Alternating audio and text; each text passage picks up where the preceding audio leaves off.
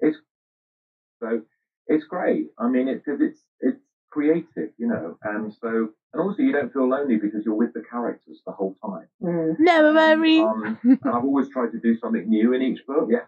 Um, because the, when you've written this many books, I mean, it's quantity over quality. There are um, you want to always try and do something new. But yeah, I think the best thing is that people find them funny.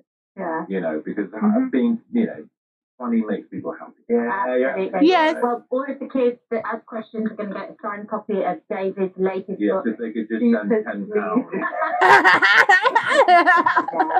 Thank you so much. Thank you so much for having Lovely me. to see you. I'll be back tomorrow. We'll look forward to it. Uh, the Littlemen are up next. Hey, Ruth. Hey Bye Bye! Hi there. Thank you very much. Coming up on News for Me. Bye bye. Maybe bye bye. Hi there. Thank you very much. Coming up on News for Minutes. Bye bye. Maybe bye bye. debate that's divided the panel. Is burning celebrity effigy harmless fun or hateful behaviour? Nora Davis is our guest. She'll be telling us about her latest challenge and we will be reacting to good friend Amy Dowden's Strictly Exit. Plus, would you pay your kids not to argue? That's a question for you, Ben. See you in a couple of minutes.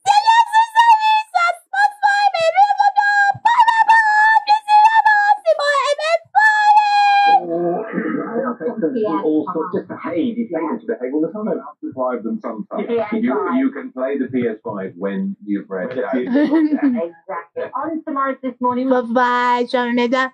got Shane Richie. He's Yeah. Bye, Shane Richie! Yeah, absolutely. And the toys that every child would want on their Christmas list. We're revealing this morning's top toys for 2024. Yay. See you tomorrow. Easing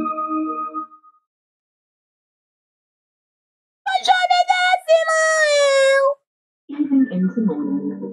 Ninja Blast sponsors this morning.